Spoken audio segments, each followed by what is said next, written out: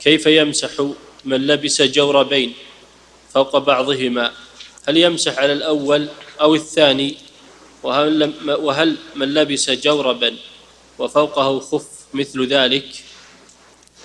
إذا بدأ المسح على التحتاني يلزمه الاستمرار بالمسح عليه ولا يمسح على الفوقاني أما إذا كان لبس لبس الفوقاني قبل أن يبدأ المسح فيمسح على الفوقاني منهما من خفين أو جوربين يمسح على الفوقاني إذا لبسه قبل بداية المسح. نعم. أما إذا بدأ المسح على الأول فيلزمه أن يستمر يمسح عليه ولا يمسح على الفوقاني نعم.